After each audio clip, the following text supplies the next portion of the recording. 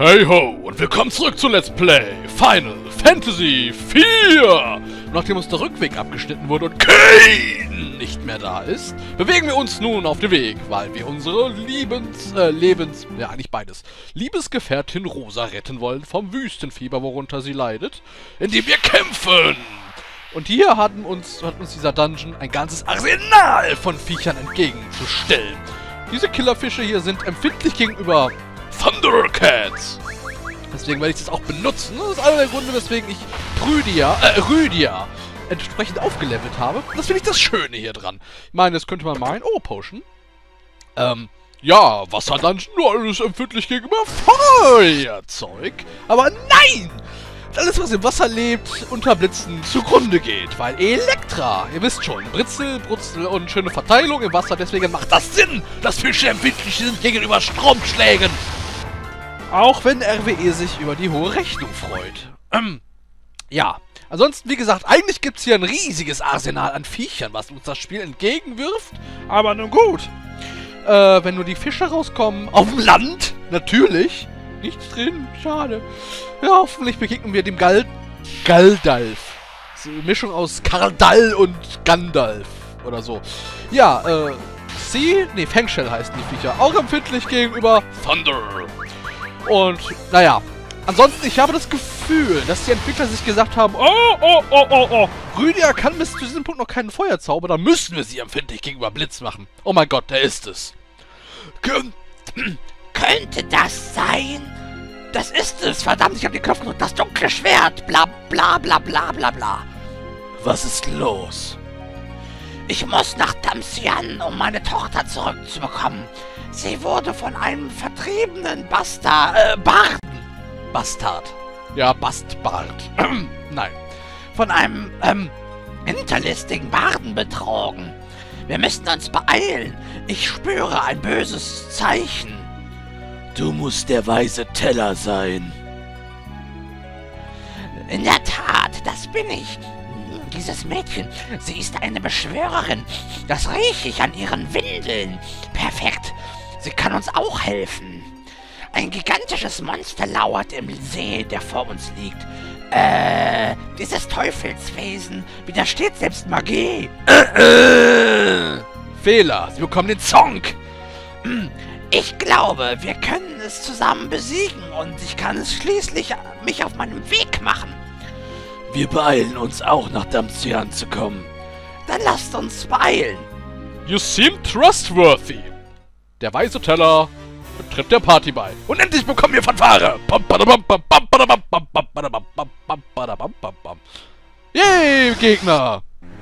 Von wegen, ganzer Zoo hier drin. Nee, kommt ja nichts raus. Äh, so, jetzt muss ich mal gucken, wo wir hier lang können. So, da oben war was. Habe ich hier nicht was übersehen? Nee, oder? Moment, guck. Hä?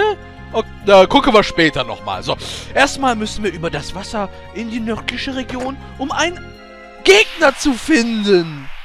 Ja, Leute, die jetzt hier vielleicht schon in der letzten Folge gut aufgepasst haben, werden bemerkt haben, dass sich die Zeitleiste von Rüdia wesentlich schneller steigert als äh, noch in der Episode hier vor. Daran sieht man mal, was Level alles anrichten können. So, hier daran sieht man wunderbar, wunderbar, gibt es einen Wasserfall. Guck mal dahinter. Ist ja irgendwie... Yay, Rüdiger bekommt ein Level. Äh, eigentlich lohnt es sich nicht, das reinzuschneiden, aber egal. Hm, ist das eine Veränderung zum SNS-Fassungsteil? Da war doch auf der rechten Seite eine Schatztruhe. Na gut, vielleicht irre ich mich auch, aber ich glaube es nicht, Jim. Nun denn, äh, fahren wir fort werde die Kämpfe hier weitestgehend rausschneiden, wie gewohnt, weil sie dauern, also sie dauern jetzt noch nicht furchtbar lange oder sowas. Nein, nein, nein. Aber dieser Dungeon dauert dann doch was länger und ich werde versuchen, diesen möglichst in diesem Video zu durchlaufen. Ist jetzt nicht so, als wenn da mein Leben dran hängt. Oh, neuer Gegner. Sehr interessant. Ähm, gut, dann kann ich vielleicht noch ein bisschen was hierzu sagen. Diese, ähm, ja, das ist jetzt erstmal egal. Die Amöbe hat die wunderschöne Eigenart, dass sie auf Magie kontert. Und zwar mit Re-Race, was sie, glaube ich, vollständig heilt, sodass mit Magie schlecht dagegen zu kontern ist. Äh, deswegen werde ich ganz normal äh, angreifen mit Rüdia, weil auch das Item-Using als Magie zählt. Also, wenn ich ihren Rod benutze. Nicht den Rod Stewart und so weiter. Ja, ansonsten, die haben irgendwie oder 130 Lebenspunkte oder so. Ihr seht es dann ja hoffentlich, wenn ich dran gedacht habe, das hier mit reinzuschneiden. Ähm, ja, keine Magie halt bei den Viechern.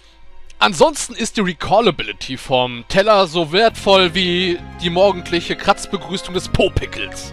Äh, es dauert einfach viel zu lange und da kommt nochmal nicht mal was bei rum jedes Mal, habt ihr ja gesehen. Äh, wir ruhen uns hier aus. Toll, weil wir hier ein Stück Dreck auf dem Boden haben, oder was?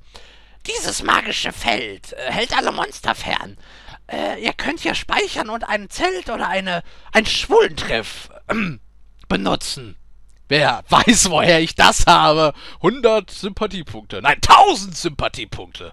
Lasst uns mein Zelt benutzen, um hier zu auszuruhen und äh, uns für die äh, anstehenden Kämpfe vorzubereiten. Ja, toll. Das wenn man auf den Dingern gut... Ja toll, jetzt zünden die das auch noch an! Mein Gott, wie respektlos die gegenüber magisch-artefaktischen Bodenbelägen sind. Dieses Mädchen ist schon am Sch Sch Schachspielerin. Am Schlafen. Sie muss erschöpft sein. Wer ist sie? Sie ist eine Beschwörerin aus dem Dorf des Nebels. Äh, sie, sie hat großes Potenzial und trägt damit große Verantwortung. Mit dem richtigen Training wird sie in der Lage sein, viele Sprü Zaubersprüche zu meistern. Sieh sie an, hat sie nicht ein niedliches Gesicht? Oh ja. Sie erinnert mich an Anna in diesen Tagen. Also bei dem Namen Teller hätte sie Anna in, in, in, in, in Kuchenbesteck oder sowas um äh, benennen sollen. Wer ist Anna? Meine Tochter. Sie ist mit diesem Baden aus Damsian äh, verbandelt, weil...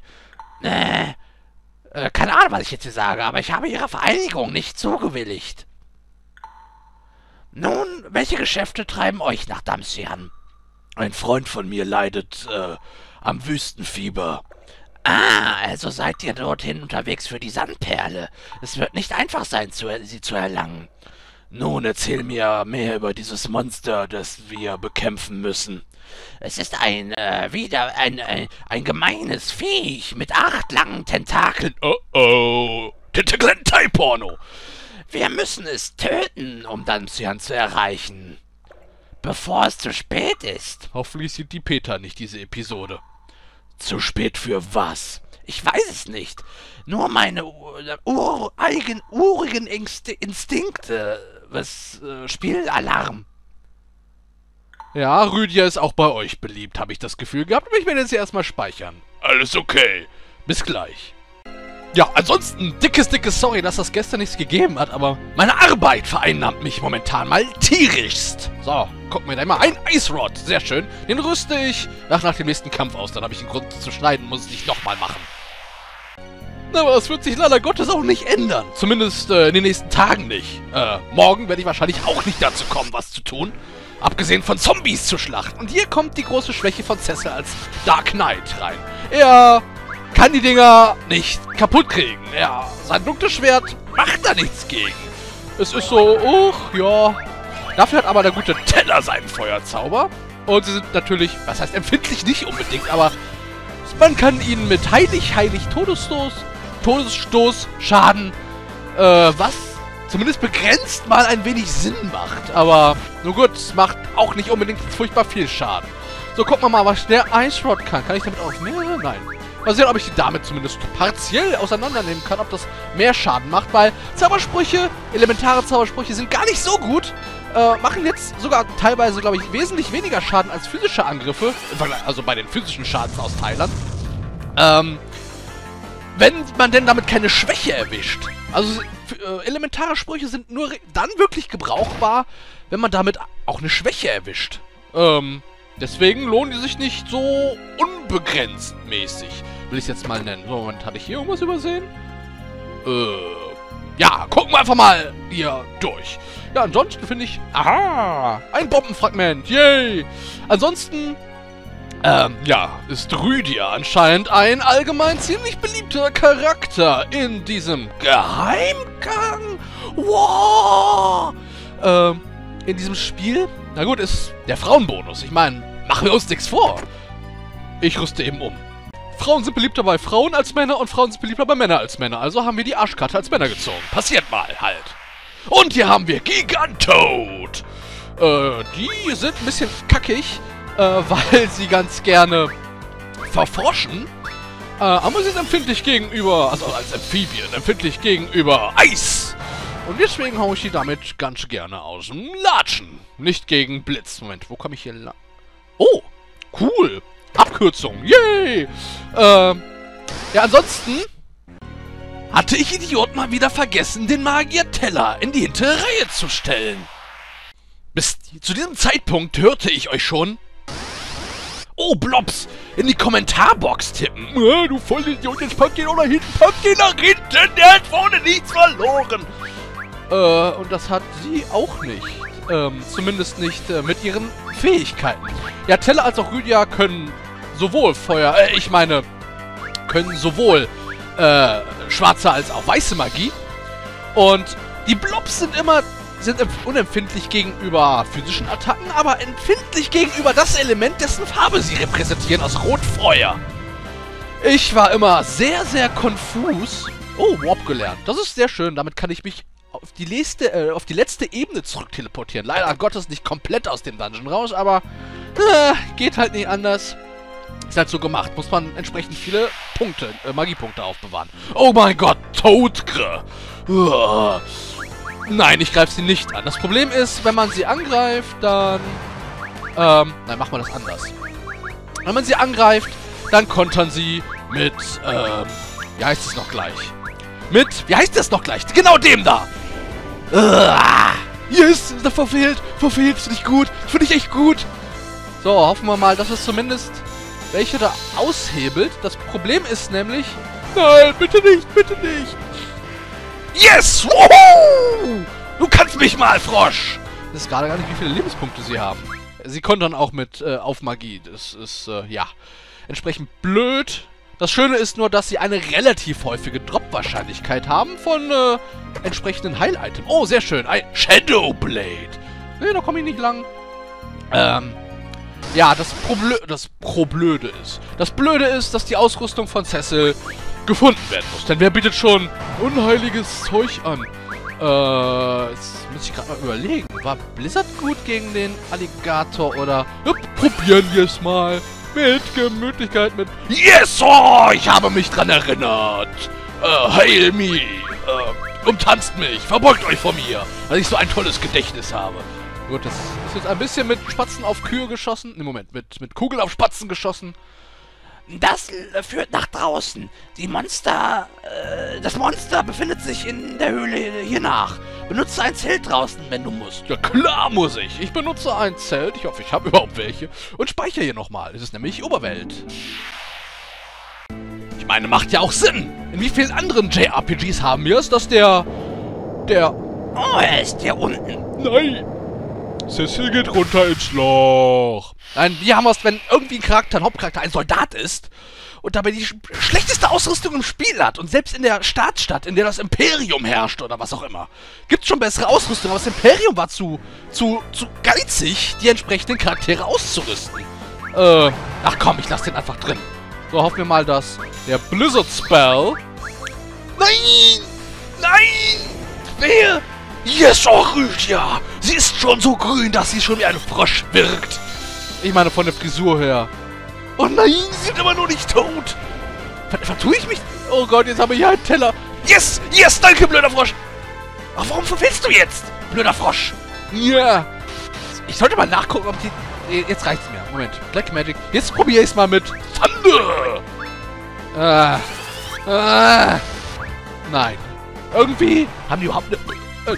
Äh, Empfindlichkeit. Oh Gott. Maidens Kiss, ich benutze es eben zum Entfroschen. Bis gleich. Beten wir, Amen.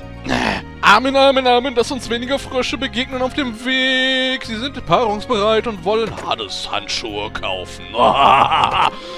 Ich äh, muss mich eben umziehen und Cecil schämt sich, also bis gleich. So gut gerüstet kann der nächste Gegner nur noch eine Kleinigkeit sein. Zumindest, sofern er kein Zombie ist. So, gucken wir nochmal, was wir hier haben. Aha, das... Ah, okay, ich ziehe mich nochmal um. Oh, ein verräterischer Tentakel-Hentai-Porno. Regisseur da oben. Bis gleich. So, dann schauen wir mal. Ah.